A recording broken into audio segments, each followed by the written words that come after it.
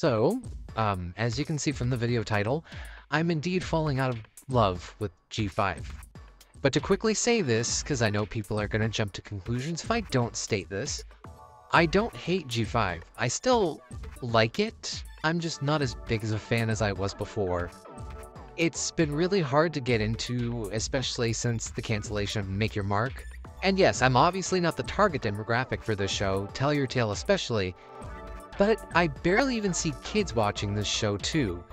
Usually kids have been either going back to or still growing up with Friendship is Magic, which shows that Hasbro really is failing at making G5 good enough to even be watched by its target demographic. Cause believe it or not, kids do get invested in plots of shows. Kids like lore, just like older fans. Kids also like world building and character depth, again, just like older fans. That's why FIM was so popular, not just with older fans, but with kids too. Meanwhile, the most character depth that G5 even has is with one character, and that's Misty. And it seems they've dropped the plot with Tell Your Tale involving Elora because now they're just turning the characters into babies for like, what, the fifth time? And as catchy as a lot of these songs are, there's no variety in the music, which makes it really boring. And don't get me wrong, I love pop songs being sung by AJ Bridel, but it gets, again, boring. Plus, these plots for Tell Your Tale episodes feel like they should be way longer, but they're crammed into 5 minutes, which feels overstimulating. Again, I don't hate G5. In fact, sometimes I still go back to watch A New Generation and Make Your Mark and go back to read the Discord arc of the G5 comics, because you all know how much I love Discord but a lot of the recent stuff revolving around lore has usually been in the comics, and kids don't really read the comics. Usually it's older fans.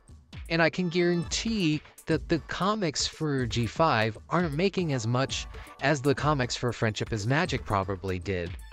Hasbro is not only failing to appeal to older fans, but also its target demographic, and I've stated my concern that this could happen before, but I wouldn't be surprised if G5 as a whole gets cancelled before the next decade. In fact, I don't even trust that Hasbro would even make a G6. They'd probably screw that up too. I just don't trust Hasbro at the moment. They haven't listened to any sort of feedback to improve. The only improvements I've seen are the animation for both Make Your Mark and Tell Your Tale. This is just my opinion, but I don't think that Generation 5 will last the entire decade. And if it does, wow, that's kind of incredible, but I don't know how good it's going to be. So for now, I'm kind of going to be dropping G5, and I'm mainly going to focus on Wild Manes, and maybe even going back and rewatching Friendship is Magic and doing some videos on Friendship is Magic, but it really depends. I've also been wanting to do Doki Doki related content because I wanted to do a video about the Doki Doki Literature Club lore, so I guess that's something to look out for. I just wanted to express my feelings with how I feel about Generation 5 right now, because I've been very disappointed by a lot of the things I've been seeing with it. Okay, I'm done. I'm done. I'm done rambling. I'm sorry.